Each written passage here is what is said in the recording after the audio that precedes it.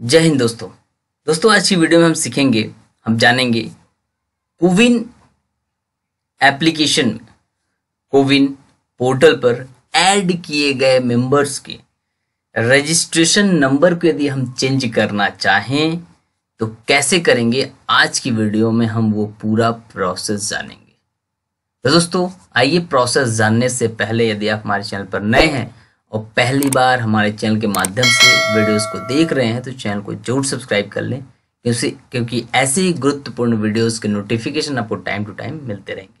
तो आइए हम लोग प्रोसेस की तरफ़ बढ़ते हैं। सबसे पहले हम सभी जानते हैं कि कोई भी एक्टिविटी करने से पहले हमें कोविन पोर्टल पर लॉगिन करना पड़ता है। रजिस्टर करना पड़ता है। यदि रजिस्टर्ड है ऑलरेडी तो साइन इन करना पड़ता है।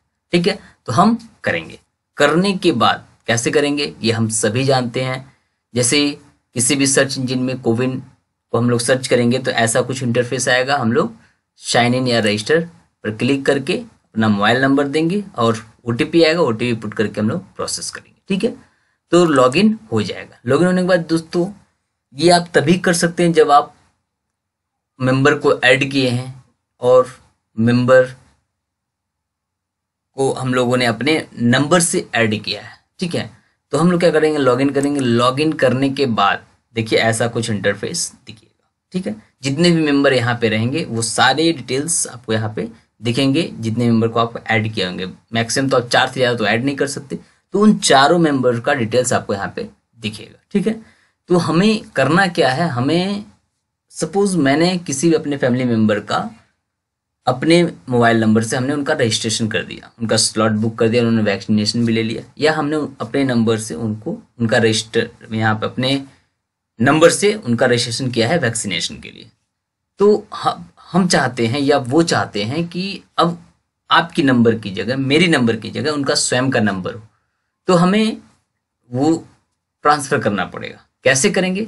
देखते हैं। देखिए, उसका दो वे है। दो रास्ते से आप जा सकते हैं, ठीक है? दोनों जानना, जान के रखना ज़रूरी है। जिस हमें सुविधा होगा, हम उसी से कर लेंगे। प्रोसेस दोनों ही सेम है। तो दो ऑप्शन है। पहला ऑप्शन है, देखिए कोविन वाला जो लाइन है, उसमें देखिए, हमें चार ऑप्शन मिल रहा है। वैक्सीनेशन सर्विसेज़ प्लेटफॉर्म्स रिसोर्सेज और सपोर्ट हम सपोर्ट पर क्लिक करेंगे और सेकेंड जो ऑप्शन है, उसको हम लोग, उस पर हम लोग क्लिक करेंगे। क्लिक करने से देखिए, कुछ ऐसा इंटरफेस आ रहा है। ये पहला ऑप्शन ठीक है? दूसरा ऑप्शन क्या है? देखिए जैसे ही आप लॉगिन करेंगे तो ये देखिए। राइट हैंड साइड में आपको एक ऑप्शन मिलेगा रेज एन इशू इस पर भी आप क्लिक करके उसी जगह पर जाएँगे। देखिए, बिल्कुल इस तरह, ठीक है? तो अब आप क्या करेंगे? यहाँ पे देखिए, आपको पाँच ऑप्शन मिलेगा। ठीक है ना? यहाँ पे देखिए, सबसे बॉटम में सबसे पांचवा नंबर जो ऑप्शन है transfer a member to new mobile number ठीक है? आप इस पर क्या करेंगे? क्लिक करने के बाद आपके सामने कुछ ऐसा इंटरफेस आएगा। ठीक है? इसके बाद आप क्या करेंगे? देखिए मेंबर डिटेल्स यहाँ पे दिया हुआ है। ठीक है? आप जैसे ही यहाँ पे क्लिक करेंगे, यहाँ पे जिस मेंबर का मोबाइल नंबर आप चेंज करना चाहते हैं, उस मेंबर का मोबाइल सॉरी उस मेंबर का नाम यहाँ पे शो करेगा। यदि आप चार मेंबर को अपने नंबर से रजिस्टर कर रखे हैं तो उन चारों मेंबर का यहाँ पे नाम वन बाय वन करके दिखेगा। जिस मेंबर का मोबाइल नंबर आपको ट्रांसफ़र करना है जिस मेंबर के मोबाइल नंबर आपको यहाँ पे उनके मोबाइल नंबर को ऐड करना है आप यहाँ पे कर, क्या करेंगे उनका नाम यहाँ पे सेलेक्ट करके ओके करेंगे। उसके बाद देखिए यहाँ पे देखिए करंट मोबाइल नंबर आपने अपने मोबाइल नंबर से किया है तो आपका मोबाइल नंबर यहाँ पे बाय डिफ़ॉल्ट दिखेगा ठीक है? उसके बाद उस मेंबर को जिस मेंबर के नाम उस जिस मेंबर के मोबाइल नंबर को आप चेंज करना चाहते हैं ट्रांसफ़र करना चाहते हैं, जिस मेंबर का नाम आप यहाँ पे सेलेक्ट करेंगे, उस मेंबर का जो नया मोबाइल नंबर होगा मतलब कि उनका जो मोबाइल नंबर होगा, आप यहाँ पे पुट करेंगे। ठीक है? आपका करंट मोबाइल नंबर समझ में आया? कि आपने अपने नंबर से चार मेंबर को ऐड किया है मोबाइल नंबर से। अब किसी एक मेंबर को चाहिए कि वो मेरा नंबर वहाँ पे हो जाए। तो आप इजीली ट्रांसफ़र कर सकते हैं। तो इस ऑप्शन को यूज़ करके, जैसे यूज़ करेंगे, उस मेंबर का नाम आप यहाँ पे नॉर्मली सेलेक्ट करेंगे। सेलेक्ट करने के बाद आपका मोबाइल नंबर से है तो आपका बाय डिफ़ॉल्ट दिखेगा ही। तो उस मेंबर का जिसको चाहिए कि उनका नंबर हो जाए, उनका नंबर आप यहाँ पे जो मोबाइल नंबर आप चेंज करना चाहते हैं मोबाइल नंबर आप यहाँ पे पुट करेंगे। उसके बाद इस बॉक्स में चेक करेंगे, उसके बाद कंटिन्यू पर क्लिक कर देंगे। कंटिन्यू पे क्लिक करते ही आपके मोबाइल में एक मैसेज चला जाएगा। और आपका जो रिक्वेस्ट है, वो सक्सेसफुल सबमिट हो जाएगा और थोड़े से प्रोसेसिंग के बाद, थोड़े से समय के बाद आपका क्या होगा? मोबाइल नंबर चेंज हो जाएगा और जब उसके बाद आप, मैंने किया ना, मैंने आपको प्रोसेस बताया।